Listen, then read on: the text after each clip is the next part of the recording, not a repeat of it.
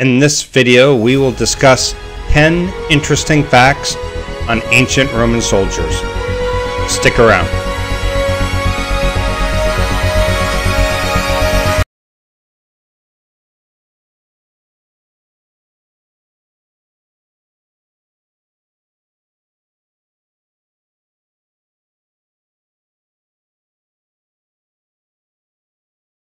Facts about the ancient Roman army. Rome's all conquering military machine holds a special place in our minds. Its efficiency and discipline made a small city on the Italian peninsula rule over most of the Western world, from the British Isles to the Near East, and from the Rhine to North Africa. Here are some interesting facts about the Roman army, some of which can explain part of its success and also its failures. Number 10. Seasonality in war. During the Romans' early history, the logistical challenges of conducting a war meant that Romans only fought between sowing and harvest during the summer. Rome was an agricultural based economy, and the movement of troops during winter was highly demanding. According to Livy, History of Rome 5.6, if a war was not over by the end of summer, our soldiers must wait through the winter. He also mentioned a curious way that many soldiers choose to spend the time during the long waiting. The pleasure of hunting carries men off through snow and frost to the mountains and the woods. First recorded continuation of war into the winter by the Romans took place in 396 BC during the siege of the Etruscan city. Number 9. Decimation Mutiny of the troops was always a potential issue for Roman generals, and there were many policies in place to discourage this type of behavior. Punishment by decimation was arguably the most feared and effective. It involved the beating or stoning to death of every 10th man within the army unit where mutiny took place. The victims were chosen by a lot of their own colleagues. Whenever a group within the army was planning a mutiny, the prospect of decimation made them think twice, and they were likely to be reported by their own colleagues. The Romans knew that decimation, although effective, was also unjust because of the actual victims might not have had anything to do with the mutiny. From the standpoint of the Romans, the unfairness of decimation was a necessary evil. Tacitus wrote, Setting an example on a large scale always involves a degree of injustice when individuals suffer to ensure the public good. Number 8. Property Qualification Military service was born a duty and privilege of Roman citizens. In its early days, the Roman army was composed exclusively of citizens and organized on the basis of their social status, according to the weapons and equipment they could afford. The richest served in the cavalry, those not so rich served in the infantry, and men without property were excluded from the army. After the Second Punic War, this recruitment system became obsolete. Rome had become involved in longer and larger wars, and they needed a permanent military presence in their newly conquered territories. The property qualification was therefore reduced. During the 2nd century BC, property qualification was reduced even more. Then in 107 BC, Gaius Marius began to accept volunteers who had no property and were equipped at the expense of the government. Number 7. Siege Warfare Whenever a town or building was under siege, a special army unit was sent ahead to surround the settlement and prevent anyone from escaping. A fortified camp would then be established around the area preferably on high ground and always out of missile range.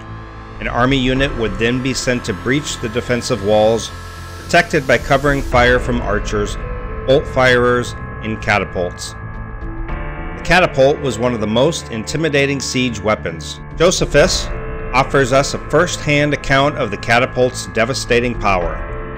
A soldier standing on the wall near Josephus was struck by it. His head was torn off by the stone missile and the upper part of his skull was hurled 550 meters. Number 6. Tunneling. Tunneling was key for siege warfare. The failure or success of many sieges was decided on how well the Romans were able to breach the defensive walls by digging tunnels underneath the town or building in question and breaking in. Although this was an effective tactic, it became widely known to Rome's enemies and eventually lost its surprise factor. During one war in the early 1st century BC, the Romans were trying to dig a tunnel to breach the defenses of the city. Its inhabitants drove a number of dangerous wild animals into the tunnel, including bears and even bees. The oldest archaeological evidence of chemical warfare has been dated to the 3rd century AD and comes from tunnels found at Dura Europos, Syria, where evidence of an underground battle between the Romans and the Persians were found. Persians were besieging a Roman garrison and using tunnels to break in. The Romans responded by also digging tunnels to neutralize the attackers. Skeletons and weapons in one of these galleries attest to the fact that the Roman soldiers were choked to death by asphyxiation gas cloud coming from bitumen and sulfur crystals ignited by the Persians. Number 5. Helmet Function According to some ancient writers, helmets in the Roman army had other benefits besides the obvious protective function. Polybius noted that the decorations on top of their helmets had a psychological impact on their enemies because it made the Roman soldiers look taller and more intimidating. The use of helmet decoration to intimidate enemies was widely practiced by most cultures. But in this case, Polybius was referring specifically to the use of a circle of feathers to make the Romans look considerably taller than what they actually were. This observation makes sense when we consider that many of their enemies, especially in Central Europe, Gauls and Germans, were much taller and robust than the Romans. Number 4. Decision-making process. During the times of the Roman Republic, only the Senate considered the governmental entity that embodied the will of Roman citizens, was entitled to declare war. As Rome expanded and the power of its generals grew larger, some wars were declared by the Roman generals without senatorial approval. An example of this was the war against Mithridates of Pontus, which was declared in 89 BC by the consul and general Manius Acilius, without any involvement from the Senate. This was illegal in theory, but in practice, there was little the Senate could do.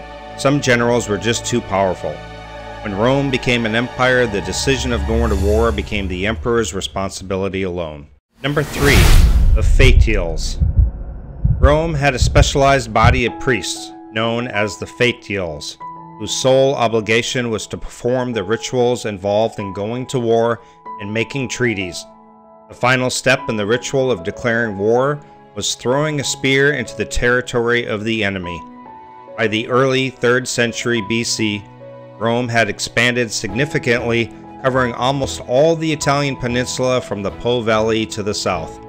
Throwing a spear into enemy territory was no longer a convenient procedure for declaring war. The borders of Rome were too far away for the Fetials to complete the ritual. Superstitions, however, don't die easily, and the priests came up with a clever alternative. A portion of land not far from the temple of Bellona, the goddess of war, was declared to be non-Roman, at the time of the war against King Pyrrhus, an enemy soldier was captured by the Romans and forced to buy part of this land so that the spear could be thrown into it. Number 2. The Gladius. The standard short sword used by the Roman army was known as the gladius, the Spanish sword, and it was developed in the Iberian Peninsula. Its lethal effectiveness and practicality were proverbial. According to Livy, History of Rome, when the Romans fought against Philip V during the Macedonian War, the Macedonians were shocked by the effects of the Roman sword.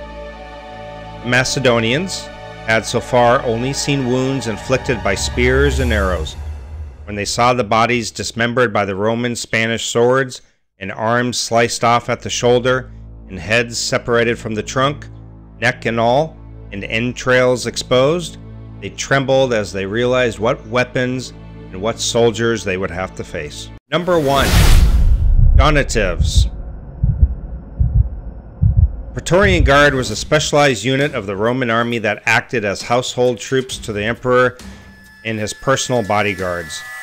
During the 1st century BC, the Praetorian Guard occasionally got involved in the process of appointing new emperors. But as time went by, their involvement grew larger until they eventually got into a position where they were able to appoint, remove, and even murder Roman emperors.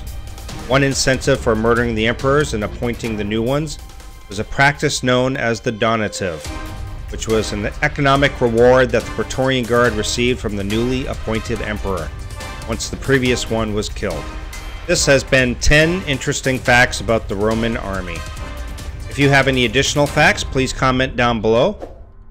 And please, if you like the video, please consider sharing it. Hit the thumbs up. Hit the bell notification. That way you are notified every time a new video comes out. And I'll see you next time. This